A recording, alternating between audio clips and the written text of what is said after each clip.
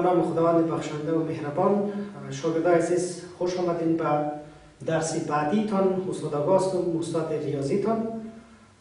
درس امروزی ما البته سنف هشتم است که قوانین ضرب اعداد تواندار صفحه 23 هست. کتابایتان آماده بکنید کتاب و کتابچهتان و بعضی موضوعاتی که اضافه گفته میشه اونا رو یادداشت بکنید خب در قوانین ضرب اعداد تواندار یا طاقتدار ما دو حالت در نظر می‌گیریم طبقی که در کتابتان اینجا ذکر شده. قانونی البته قانونی اول ما شما میگه هرگاه در ضرب اعداد طاقتدار قایده ها برابر باشد و توانها مختلف باشد ما برای ضرب کردن اونا چه کار می‌کنیم؟ از قایده های مساوی یکش می‌گیریم و توانا رو با هم جمع می‌کنیم که همین موضوع شما نوت بکنیم. ببینیم ما در شکل عمومی نشان میدیم. اگر A یک عدد فرض بکنیم A بتوانی این باشد ضرب B ضرب A. بتوانی M باشد. یعنی دو عدد در حالت یا دو یا چند عدد می‌تونه باشه. در حالت ضرب قرار داشته باشه. ما جهت ضرب نمودن این اعداد مثل که شما در های قبلا هم همین قوانین ضرب اعداد تقدار خواندین باز هم در کتاب ما یک اشاره می‌کنیم بر شما. ببین از قاعده های مثلا یک شو می‌گیریم توانا رو با هم جمع می‌کنیم. این جمع این هر چیزی که باشه اینجا. قاعده ها برابر توانا مختلف از قاعده های برابر یک شو می‌گیریم و توانا رو با هم جمع می‌کنیم که قانون قانونی ضرب البته قانون اولی ضرب اعداد طاقتدار یا تواندار هست. مثال کار می‌کنیم. اگر داشته باشیم که دو به توان سه باشه ضرب دو به توانی مثلا چهار باشه که امی سوال در کتابایتان هست. ببینید دانه در حالت ضرب قرار داره. شما میشه که اینا رو بسیار آسان میتون از قاعده های مثلا یکش بگیرید و توانا رو با هم جمع بکنید. سه جمع چهار. خب دور خودشان آشنا می‌کنین سه رو جمع چهار بکنید. چند میشه؟ هفت میشه. خب میشه که این هم درست باشه و اگر اینا رو از توان رفع کردیم دور هفت دفعه ضرب بکنیم میشه یکصد و بیست و هشت. میشه که جواب هم درست باشه خب نشه که شما اینا رو دو بتوان هفت دو هفت چارده ضرب بکنیم. دو یعنی هفت بار اگر ضرب شود میشه یکصد و بیست و هشت. خب این مثال اول بود. یک مثال دیگه هم راجع به این قانون کار می‌کنیم. مثلا ما شما اگر داشته باشیم که صفر اشاریه. دو باشه کل بتانی چهار مثلا باشه ضربه. صفر اشاریه دو کل بتانی هفت باشه ضربه. صفر اشاریه دو کل بتانی مثلا ده باشه ببینید این اعداد ما در حالت ضرب قرار داره سی عدد. شما در طاقت خبر داریم که این اعداد به نام قاعده یاد می‌کنه و عددهایی که اینجا نوشته شده به نام توان یا نما یاد می‌کنه. شما ببینید در در ضرب اعداد نمادار یا طاقتدار اگر قاعده ها مسائل باشه از قاعده های مسائل چند تاش می‌گیریم؟ یکش می‌گیریم. و توانا رو با هم جمع می‌کنیم. چهار جمع هفت جمع ده. خب ای صفر اشاری دو کل و توانی اینا اگر جمع بکنیم چهار و هفت میشه یازده یازده و ده میشه بیست و یک. خب این شد جواب. میشه که شما صفر اشاری دو رو بیست یک بار دیگه ضرب نکنید ضرور نیست. که اون بشر طاقت این ناشته می‌کنیم یعنی این از حالت اول ما بود که اگر قایده ها باشه از قایده های مسایی یک می‌گیریم و توانا رو با هم جمع می‌کنیم. حالت دومی ما شما چی هست؟ ببینید در قانون دومی ما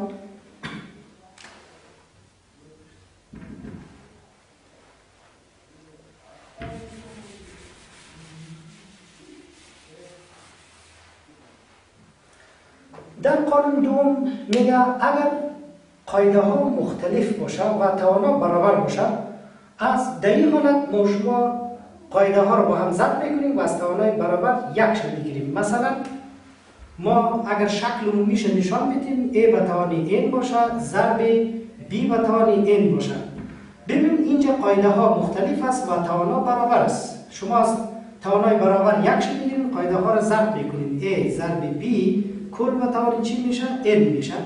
خب اینا قانون چندم است؟ قانون دوم هست که ما از قاعده های از توان های برابر یک گرفتیم قاعده های مختلف از کردیم. خیلی آسان است. این قانون دومی ضرب اعداد تواندار یا طاقتدار هست. مثال کار می‌کنیم. اگر اینجا باشه که دو به توانی مثلا سه باشه. ضرب پنج به توانی سه باشه. دوستان عزیز اینجا دو عدد تواندار در حالت ضرب قرار داره و توانای از برابر است اما قاعده هاش مختلف است شما چیکار می‌کنید دو را ضرب پنج می‌کنید که قاعده ها را شما در حالت ضرب قرار میدین از توانای برابر یکش می‌گیرید خب میشه دو پنج ده ده به توان چند سه اگر ده را سه بار ضرب بکنیم چند میشه یعنی ده ضرب ده ضرب ده مساوی میشه به چند هزار یعنی این جواب سوال ما هست. اینجا ببینیم که در حالت ضرب قرار داشت از قاعده های مساوی از توانای مساوی یک گرفتیم و قاعده ها رو با هم ضرب کردیم. یا البته قانون دومی ضرب اعداد نمادار هست. یک مثال دیگه هم کار می‌کنیم. میشه که یک اعداد کسری داشته باشیم. سه بر دو باشد. کل به توانی مثلا چند باشد؟ کل به توانی دوازده. ضرب چند باشد؟ ده بر هفت باشد کل به توانی دوازده.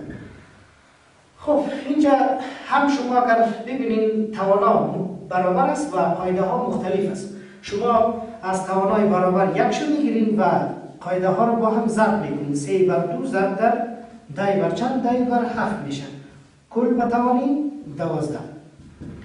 شما در ضرب کسرها در های قبلی خواندیم که صورت ها رو با صورت ها ضرب می‌کنیم و مخرج ها رو با مخرج ها البته قبل از اینکه ما اینا رو ضرب بکنیم مگر یکی از صورت ها با یکی از مخرج ها قابلیت اختصار داره بود اول اختصار می‌کنیم که این دو با ده اختصار میشه. یک دوی ما دو پنج دوی ما ده میشه. خب دیگه قابلیت اختصار نداره. پس با صورت با صورت مخرج با مخرج ضرب می‌کنیم. سه پنج پانزده. پانزده بر یک ضرب هفت هفت. کل با چند میشه؟ دوازده میشه. خب این هم جواب سوال دومی ما. میریم اینجا یک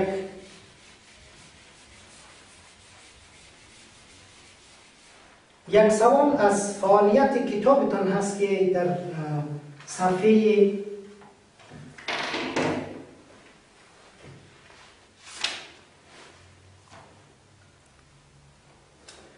در صفحه 23 هست. گفته جاهای خالی را با عدد مناسبی طاقتدار پر نمایید. ببینید اینجا یک سوال هست که را به شما کار می‌کنیم و سوال های دیگه خودتان کار بکنیم. پنج به توان شش هست برابر میشه به پنج ضرب پنج به توان دو ضرب پنج به توان چهار هست. بازم مسایی دادن. پنج به توانی سه هست و ضرب نقطه نقطه. اینجا البته خانه خالی هست. باز مسایی دادم پنج به توان چهار باز ضرب خانه خالی هست. خب بازم مسایی دادم گفته که خانه خالی ضرب پنج به توان یک هست. ببینیم اینجا نظر بینیمی قانون تواندار یا اعداد طاقتدار ما می‌تونیم این خانه خالی ها را به دست بیاریم.